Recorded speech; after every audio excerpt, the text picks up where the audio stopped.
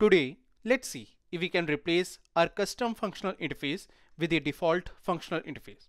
So currently we are having a custom functional interface operation which contains an abstract method describe.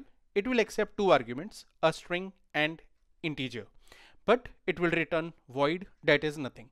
And this is how we are invoking it with the help of our lambda expression. So in the body of this lambda expression, we are just mentioning a sysout statement and on executing we can see that it is going to print us I work on Java 21 because that is something which we are using. Now in this case you can see that we are only accepting the arguments. So you can say that okay Abhishek you can make usage of consumer functional interface but the problem is that it is only going to accept a single argument but in our requirement we need to accept two arguments. So luckily Java also provides us with BiConsumer. By consumer can accept two arguments, but it will never return anything.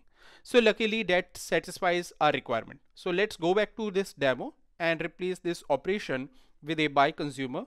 So let me just mention here BiConsumer. Now comes the data type of first argument that is going to be a string in our case and then comes the data type of second argument that is going to be an integer. Now let me move this one to next line so that it's clearly visible to you.